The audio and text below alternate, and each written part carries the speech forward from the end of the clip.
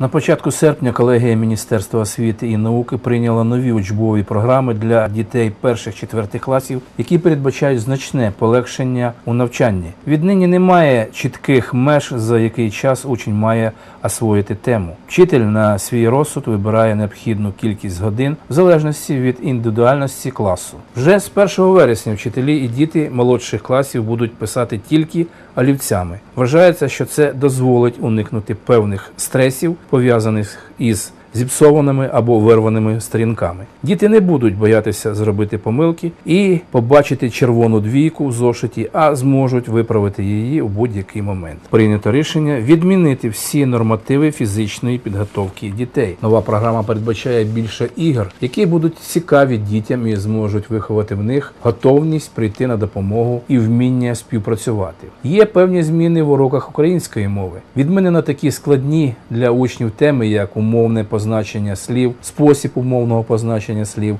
складання речення по графічних схемах. Ці теми перенесені для вивчення в старших класах. Спеціалісти прийняли рішення для молодших класів зробити акцент на розвитку усної мови. З нового навчального року більше уваги приділятиметься вивченню англійської мови. На уроках вчитель буде більше акцентувати увагу на те, як учні розмовляють. Тобто до кінця курсу учень повинен володіти тим словарним запасом, який можна застосувати на практиці. Шестирічні діти вже повинні будуть вміти читати певні слова і речення англійською. Є зміни і в літературі. З програми вилучили неактуальних радянських авторів і замінили на сучасних українських. Віднині літературних героїв будуть оцінювати не методом поганий він чи хороший, а за його вчинками. На думку спеціалістів, це буде стимулювати учнів висловлювати свої емоції від прочитаного, розвивати задоволення від читання, а не просто виконувати інструкції. Тепер ви трохи знаєте про основні зміни і розумієте, до чого готуватися в новому учбовому році.